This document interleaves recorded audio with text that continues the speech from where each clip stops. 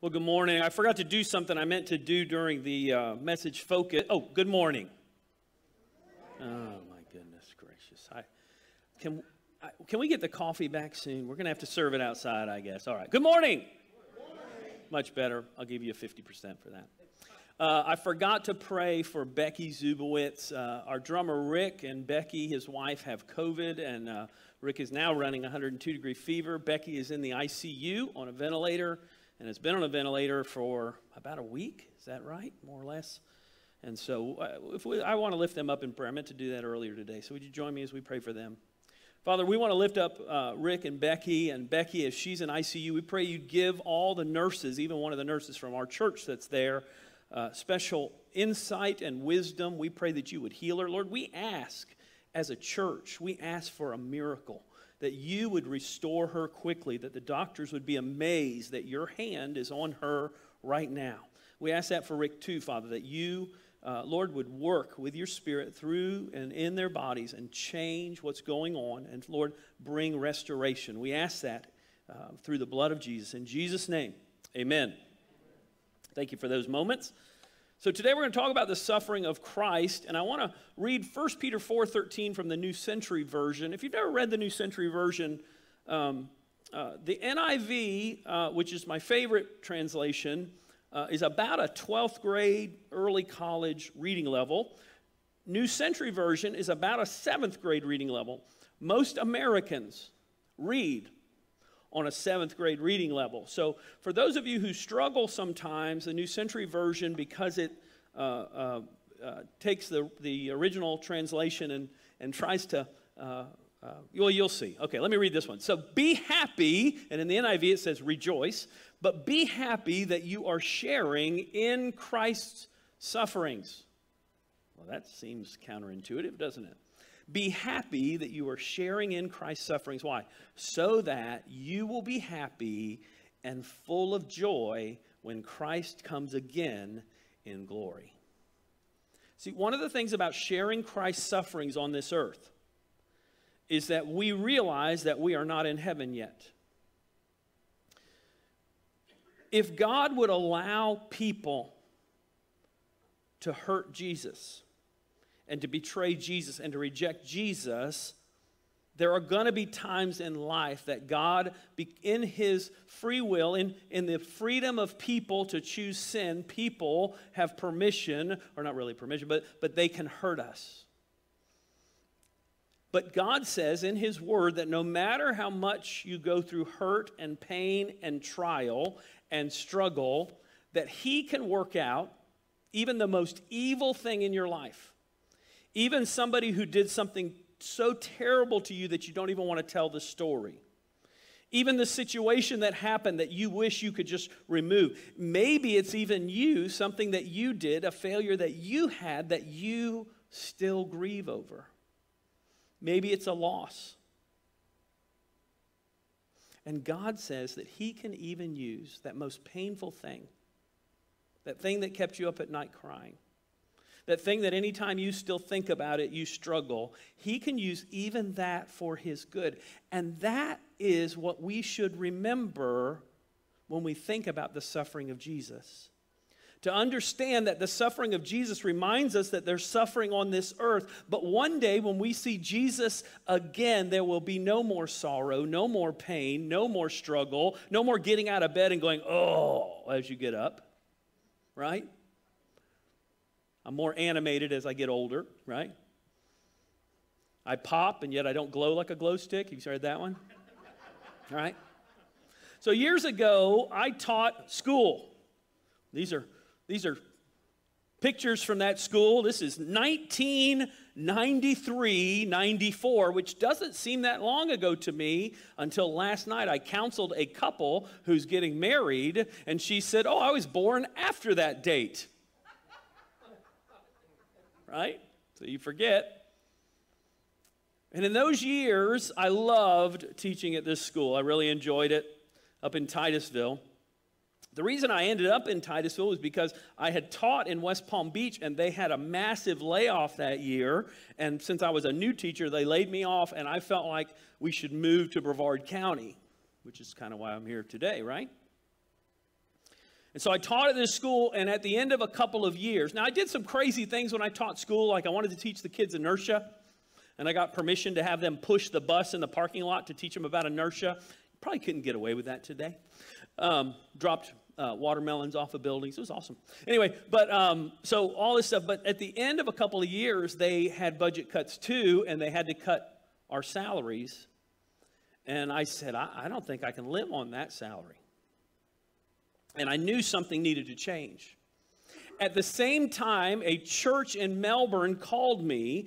I had been working with youth. I, in college, had been a youth pastor, and this church called me from Melbourne and asked if I would come and be their youth pastor.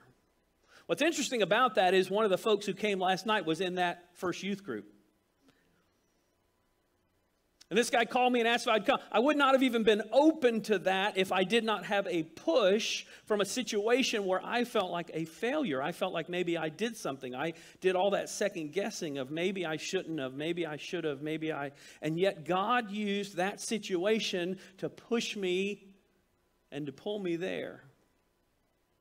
And then God used some circumstances there then to, to move me back to youth ministry up in Titusville. And, and God uh, uh, used there. And then there was a push there.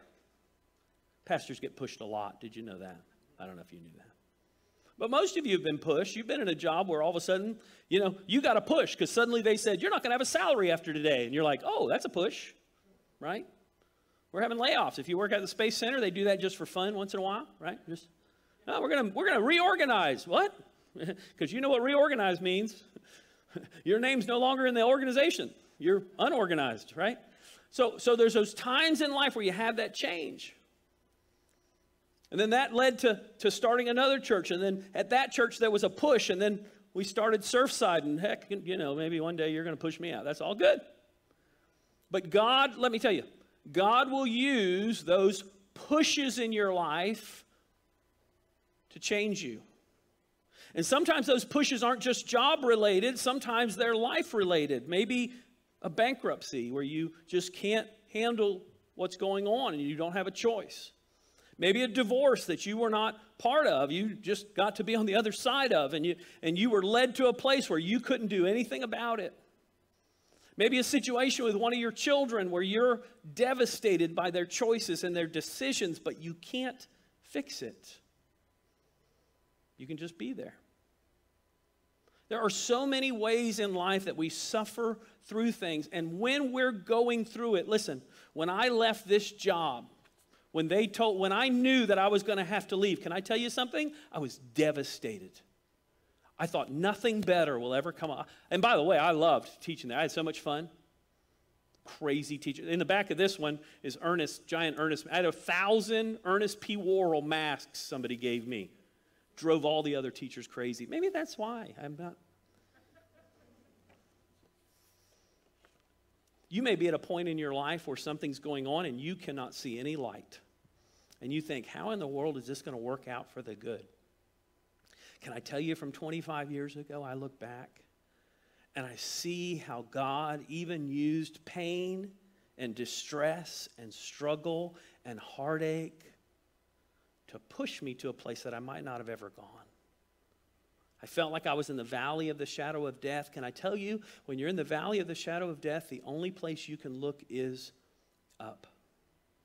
See, God allowed Jesus to go to the cross. The ultimate goal was to save us. He wanted a relationship with you and me. And if nothing else, we should remember that. That's what that verse talks about. Remember that. And He'll allow us to go through trials and through suffering. Jesus said, In this world you will have trouble. I wish he had said you might. But he said you would. If you're a Christian and you're really trying to follow God, there are going to be days that you struggle, that you have a hard time. There's going to be relationships that struggle. You're in the world. This is not heaven yet. But he will use your pain and struggle. And if you'll let him, he won't make you. But if you let him, if you'll follow his will, he will work even those things out for the good. That trial in your life can become a testimony to what God can do, even through pain and struggle and sorrow. So let's talk today about what Jesus endured for us. First, he was beaten and belittled.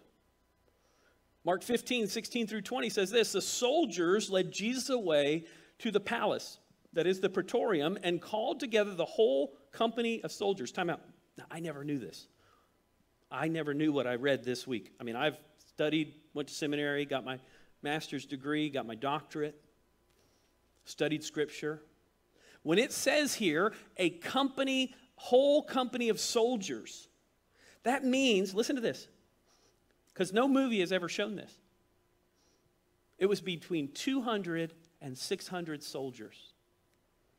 200 and between 200 and 600 soldiers were part of what takes place next. So the scene is much more intense, much more chaotic, much more mocking than you've probably ever gathered unless you knew that.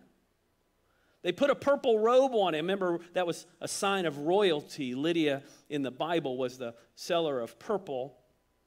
They put a purple robe on him, twisted together a crown of thorns, and set it on him. In Florida, that would be related to bougainvillea. How many of you have ever trimmed a bougainvillea? We had a guy here last night that went to the hospital from trimming a bougainvillea plant, okay? You, you, those thorns. So imagine they twisted that, something like that, together, and then I doubt they gently placed, they shoved it on his head. And they began to call out, Hail, King of the Jews!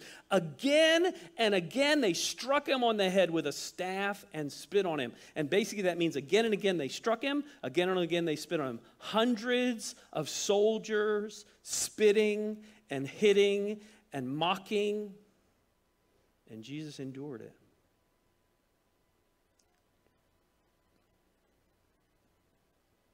Falling on their knees they paid homage to him. So you can imagine it was like a show for them. They were young soldiers showing off to each other. Oh, you know, you just came into Jerusalem last week on a donkey and everybody was throwing palm fronds down. Look at you now. We thought we were going to have to keep you from being king, but look at who you are now. You can't come against Rome. And the soldiers realized this threat that they thought is gone. See, they thought he was coming in to take over. By the way, that's what the disciples sought too, so they weren't really off base. Remember, the disciples were still confused. They were like, well, I thought we were taking over here. I was looking at the temple stones and thinking, this is going to be a great palace for us. Falling on their knees, they paid homage to him. When they mocked him, they took off the purple robe and put his clothes on him. By the way, this is after he had been beaten till his back was hamburger meat. And I don't know if you've ever had a cloth put on a wound and then had it peeled off. They let him out to crucify him. This would have been about a four man crucifixion team that did this all the time. These were insensitive, they had become immune to it, they had done it so often. They felt like these people weren't really even humans. They were, there was a reason that they were condemned to death would have been a centurion over them, and then the four people would have grabbed his legs and, and put him on the cross and nailed him to the cross, nailed his wrist to the cross. Back then, they considered the hands all the way to this part, what we call a wrist. And none of this was fair. Have you gone through some unfairness in your life where you were falsely accused? Where maybe you lost a job and it wasn't fair and you thought, this is just not right? God can use even that because He understands unfairness. He understands the unfairness that happens in your life. He understands the unfairness that happens in all of our lives. And when life is unfair, He understands unfairness. I want to encourage you to do this. If you have something where you feel like there was something unfair in your life, and, and those things haunt us sometimes, when you think of that, I want you to use that and come before God in prayer. And just like Jesus did, said, Thy will be done. I want you to say, God, use even this. God, I release this to you. That person that did that thing, that situation that happened, it was unfair. He knows what it's like to have, un- you're in a world of unfairness. Unfair things are going to happen to you.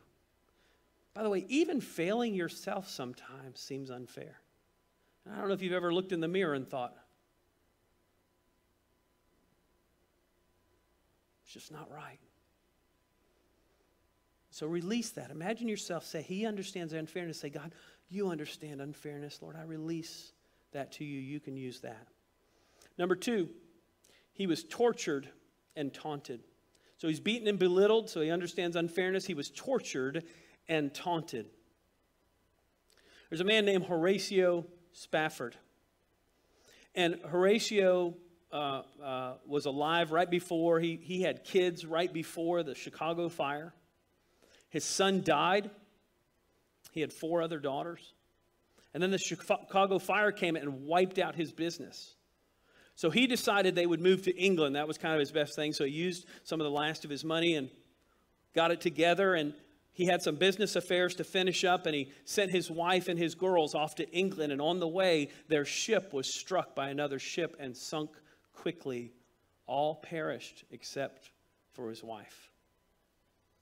It wasn't too many months later that he was on a ship. They were, he and his wife were going back to England this time together. And as they came to the place, to the area where his daughters drowned,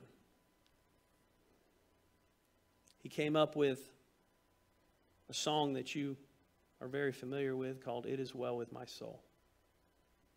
He understood that no matter what happened, even though it did not seem fair, even though it seemed unjust, even though life had gotten so difficult and so many tragedies over and over and over in his life, he said, But I trust you, God. It's well with my soul. He understood that life is not just about what we see here. One day there will be no more goodbyes because of what Jesus did. One day in heaven, there'll be no more pain, no more suffering. Your best day on earth is just a taste of the joy of heaven. The most you've ever laughed at one of Dave's bad jokes, which is not much, but the, most you've ever laughed is just a touch of the joy you'll see in heaven. So the sorrows of this earth fade away and it's well with our soul. Why? Because we understand that Jesus has made a way for us to spend eternity in paradise, in heaven. This is not heaven. And when we choose to try to put heaven's requirements on earth, we're always disappointed. God allows things to happen to teach us. He allows tragedy. He allowed the early church to be persecuted. Why? To spread the gospel. You and I are here today because the early church, Nero came in and persecuted the early church, and they took off all over the world. And you and I heard the gospel because of that evil. But I'm sure for those who were tortured by Nero, they thought that doesn't seem right. God will use even a bad president in our country, to teach us about him. A certain man from Cyrene, which is in North Africa, Simon, the father of Alexander and Rufus, was passing by on his way from the inn from the country. And they forced him to carry the cross. Oh, by the way, I want to say something. Don't assume that I'm saying the president you're thinking of is the bad one. It's probably the opposite of who you're thinking, so just so you know. All right, just want to make sure you knew that. All right. They brought Jesus to the place called Golgotha, which means the place of the skull. By the way, Jesus would have carried that beam, it would have been about 100 pounds. And after Jesus was beaten and had lost so much blood, he could not carry it. Jesus must have been pretty strong. I mean, when he chased them out of the temple, they left. That tells you a little bit about him.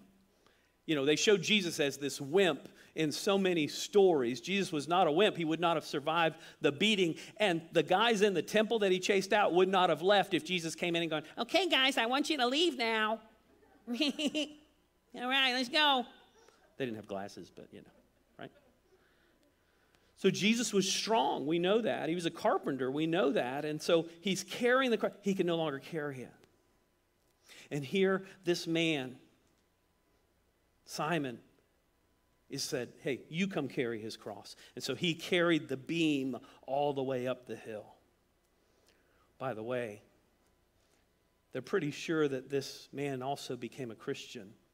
If you read in Romans 16 13, we're pretty sure that it's the same person talked about in the early church that was a witness of Christ to others. So even the injustice of Simon having to carry the cross literally changed his life. They brought Jesus to the place called Golgotha, which means the place of the skull. Then they offered him wine mixed with myrrh. Myrrh. I seem to remember myrrh. God loves foreshadowing. In just a few months, we'll celebrate Jesus' birth. And we'll talk about what the wise men brought, the foreshadowing of what Jesus would do, the suffering, the hurting, the pain. Dividing up his clothes, they cast lots to see what each would get. And it was nine in the morning when they crucified him. By the way, if you look at Psalms 22, we're going to show that in a minute. You'll find that dividing of the clothes in the prophecy about the Messiah. They crucified two rebels. Oh, excuse me. The written notice of charge against him read, The King of the Jews. They crucified two rebels with him, one on his right and one on his left. Those who passed by hurled insults at him, shaking their heads and saying, So, you who are going to destroy the temple and build it in three days, come down from the cross and save yourself. By the way, he could have.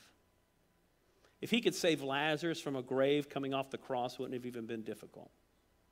If he could walk on water, he could walk on air. But he didn't because he sacrificed for us. He saved others, they said, but he can't save himself. Let this Messiah, the King of Israel, come down now from the cross. Listen to what they say, so we can see him and believe. Listen. He had shown them, they knew that Lazarus rose from the dead. They had seen Jesus do miracles, and they did not believe. Do you really think if he came off the cross they would believe? They didn't want to believe. Religious leaders in the presence of Jesus did not even recognize Jesus. And here's the caution for us as you go through life, don't miss what God's trying to do. As you go through life, don't miss what God's doing. It even says when Jesus went up into heaven, it says that people saw him go up into heaven, and then it says, and some doubted. That means there were people there that were watching Jesus go up and said, that didn't just happen. That's just people. So realize that no matter what God does, if you don't pay attention, if you don't allow Him to soften your heart, you'll miss it. You'll be focused on the wrong thing. There are churches today that are fighting over music. They're fighting over what kind of music they're singing. I was in a church where people would sit down even anytime a modern hymn was sung. And that church is dying today. You know why? Because they thought church was a country club. They forgot church was about reaching out to people. It wasn't just about our comforts and what we like, it's about God, what do you want us to do?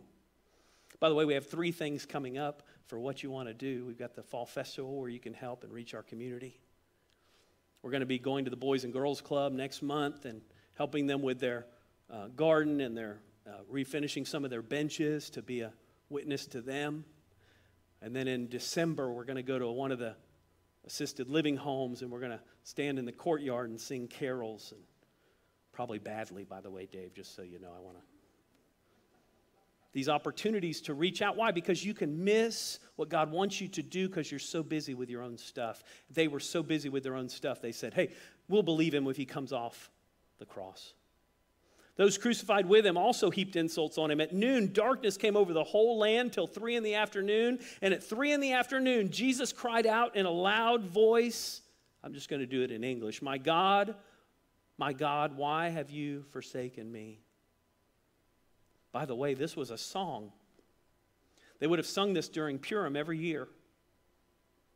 It was like starting a song off. It would be like if I said to you, two all beef patties, special sauce, you would know what I was talking about, right?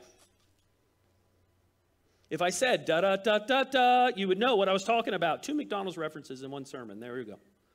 You would know what I was talking about. If I said amazing grace, how sweet the sound, you would know what I was talking about. You would sing the song. When Jesus said, My God, my God, why have you forsaken me? Yes, God cannot look on sin, but Jesus was also pointing to Psalms 22. And if you get an opportunity, read it. It talks about the cross. It describes what Jesus experienced. Jesus was letting them know look at what you're seeing, and what you're seeing is a prophecy of me. When some of those standing near heard this, they said, Listen, he's calling Elijah. They missed it.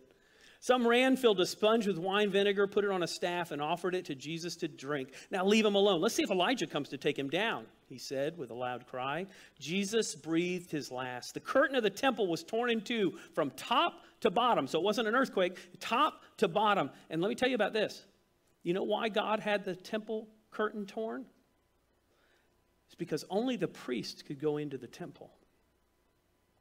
And the Bible points out that Jesus is our high priest. You don't need to come to a priest, you don't need to come to a pastor to have access to God. You go straight through Jesus. You, you don't have to have other people to pray to in order to come to God. Why? Because that, that curtain was split so that you, through Jesus Christ, can come into God's presence without help. You don't have to ask Mary to bring you there. You don't have to ask one of the saints to bring you there. You don't have to bury a statue in your front yard to bring you there. What? The temple was split top to bottom, that curtain to give us access to God. That's pointed out for a reason to remind us that He is our high priest. With a loud cry, Jesus breathed his last. The curtain of temple was torn in two from top to bottom. And when the centurion, remember, these guys were used to this. When the centurion who stood there in front of Jesus saw how he died, he said, Surely this man was the Son of God. Even though the religious leaders missed it, somebody who should have been bitter, who should have been insensitive to criminals. He heard people cry out every day. That was his job. He was there at the cross, and he said, He really is God. See, Mark would point that out because when he was writing early on, this would first be read to the Romans. And Romans would know that a centurion would not care about who was dying on a cross unless there was something real. Don't miss the reality of what God's doing around you. Ask God to show you what He's done for you.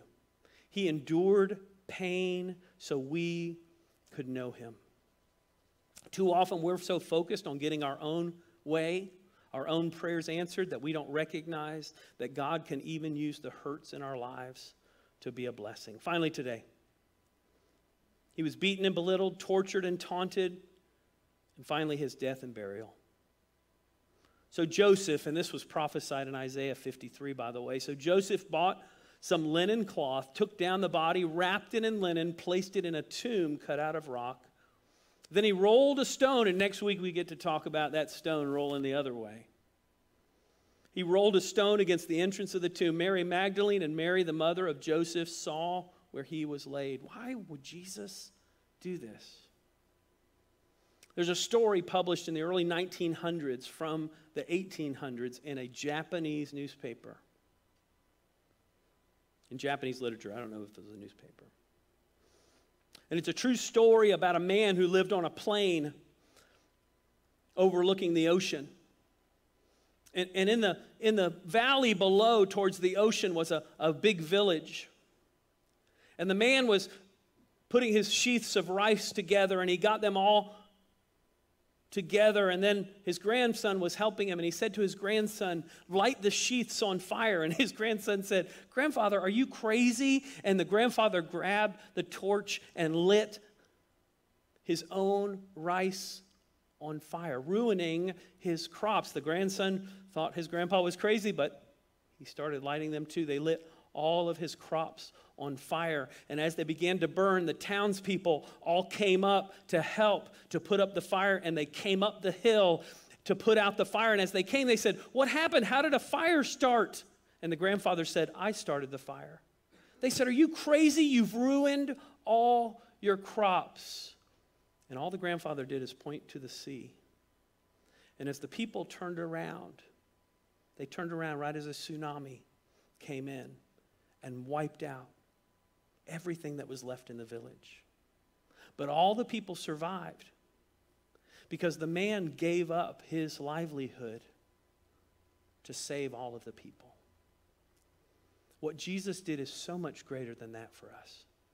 The sacrifice that we give, the things that we do, listen, you can't earn your way to heaven. You can't do enough religious deeds to do what Jesus did. He paid it all but you have to receive what he's done. It's a free gift, the Bible says. In John 3:16 it says very simply, "For God so loved the world, he gave his one and only son." You know, we read that so often. I, I want to do something today. Where it says world, I want out loud for you to say your name. If you're at home and you're watching online, you say it out loud right where you're at. If, you if your cousin's sleeping in the house, they'll just think you're crazy saying your name out loud, okay? So here we go. When I get to the world, you say your name. Ready? For God so loved, for God so loved Eric, that he gave his one and only son that whoever believes, that word for belief is not just a head knowledge, it's a heart knowledge. It's what we do when we sit in a chair, it's the idea of faith. Whoever believes, whoever says, Jesus, I trust you, it's not just being able to talk about him, it's not information. The Pharisees had information, Satan has information about Jesus.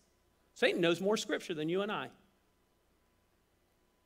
And yet, we put our faith in him. God, I trust you. I surrender my life to you. Whoever believes in him will not perish, he won't die, but have eternal life. That's the hope of the gospel. Why? So that that very first verse comes true, that we look forward, we understand the suffering of Jesus, and we live it sometimes, understanding that when he comes or when we go to him one day, that the day that Eric says, What does this button do? Oh, hello, Jesus.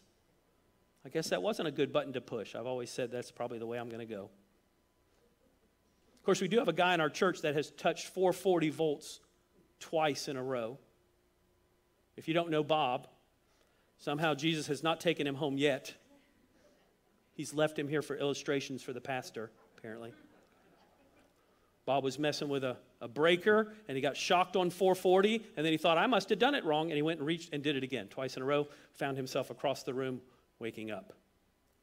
On the day that you maybe do something dumb, or the day that your doctor finally says you can go no further, on that day, when you close your eyes here, you will open your eyes in his presence. Jesus said to the thief on the cross, Today you will be with me in paradise. There's no in between, there's no waiting, there's no time of, of just sitting around. You're in his presence on that day. And that's why we can have joy in this world because the suffering we endure, number one, is nothing like what Jesus endured but He understands our suffering. And one day, no more suffering, no more sorrow, no more goodbyes, no more injustice, no more terrible situations. One day, all of that goes away and is just a distant memory in the light of His love and grace and fellowship with others and blessing the perfection of heaven that we look forward to. That's why we don't put our hope in the things of this earth. That's why we don't fully trust the things of this earth, no matter how wonderful they are. We thank God for them, but we don't put our faith in them. We put our faith in Him. Why? Because He gave everything for our sins. And we need that. On our very best day, we don't have it all together. But the Bible says, but He gives us His righteousness anyway. He makes you righteous. If you're a Christian, you no longer have to say, I'm a sinner. You can say, I was a sinner, but I was a sinner saved by grace. No longer am I a sinner. I'm saved by grace. So I'm a sinner who was saved by grace. God, thank you for that righteousness you've given to me as a free gift. If you're here today or you're watching online and you've never given your life to Christ, you can do that today. And I'd love to talk to you about what it means to be a Christian. I explained it, I think, very clearly. But there's even a prayer at the end. A prayer does not save you, but a prayer spoken with a heart that agrees with the prayer does save you as you surrender your life to Him. So that prayer is at the end of the notes today. And you can pray that prayer. I'd love to talk to you about what it means to be a Christian. If you're watching online, you can send me a note, an email, whatever's easy, and let us know about your decision. If you're ready to take the next step in baptism, you can let us know too. That's the way you identify with what you've done. Let's go to the Lord in prayer today, and then we'll have our time of giving. Father, thank you for these moments. I thank you for your word and your power. Lord, thank you that you love us. Father, I thank you that that even though we walk in sin, Lord, even though the most perfect of us sin, that Lord, you've taken all of our sins and you took the punishment on the cross. It wasn't just a physical suffering, it was a spiritual suffering because our sin was placed on you. Lord, thank you for your sacrifice because of your love for us. Lord, I pray that those of us who've been Christians would recognize what you've done and today walk in that love. Lord, not looking for the world for satisfaction, but looking to you for satisfaction so that then we can share that joy with the world. Lord, make us walk in love so that others can see that you're real. In Jesus' name, amen. Now, normally,